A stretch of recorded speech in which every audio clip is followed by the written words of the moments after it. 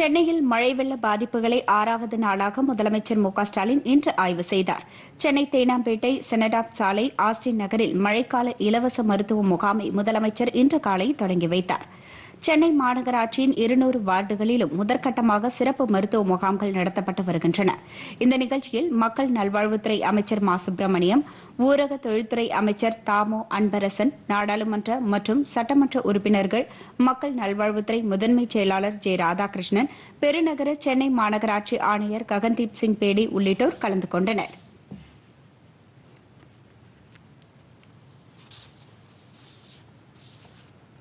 பின்னர் பள்ளிக்கரணையை அடுத்த நாராயணபுரம் ஏரி ஏரியல் ரிங் ரோடு ஆகியவற்றை முதலமைச்சர் பார்வையிட்டு ஆய்வு செய்தார்.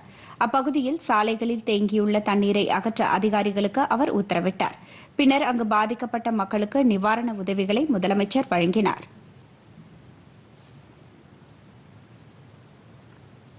இதனைத் தொடர்ந்து செங்கல்பட்டு மாவட்டம் மாம்பாக்கத்தில் நிவாரண முகாமையும் தொடங்கி வைத்த முதலமைச்சர் பாதிக்கப்பட்ட மக்களுக்கு நிவாரணப் பொருட்களை வழங்கினார்.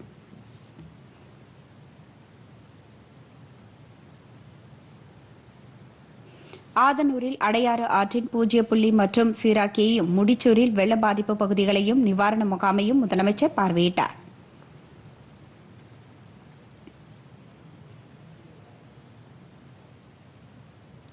தொடர்ந்து காஞ்சிபுரம் மாவட்டத்தில் கனமழையினால் வெள்ளம் பாதித்த பகுதிகள் மற்றும் நிவாரண முகாம்களையும் முதலமைச்சர் மு க ஸ்டாலின் நேரில் பார்வையிட்டு ஆய்வு மேற்கொள்கிறாா்